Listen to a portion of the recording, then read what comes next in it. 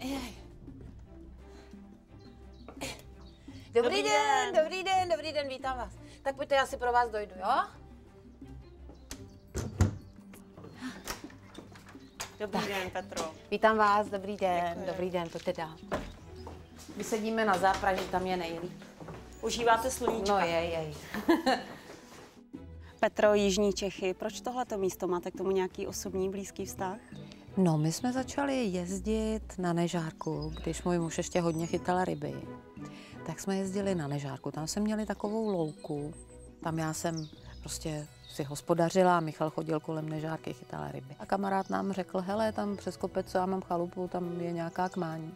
No a my jsme přijeli tady na to místo, přijeli jsme na kopeček před ten náš baráček a věděli jsme, že prostě to je že tady musíme být. A pak jsme se teprve začali pídit to po historii a zjistili jsme, že, že to bylo poutní místo, že tohle byl kostel svaté Markéty nad námi a tohle byla kaple, která k němu patřila. Pak to bylo odsvěceno a z té kaple udělali takzvané lesní hospodářství.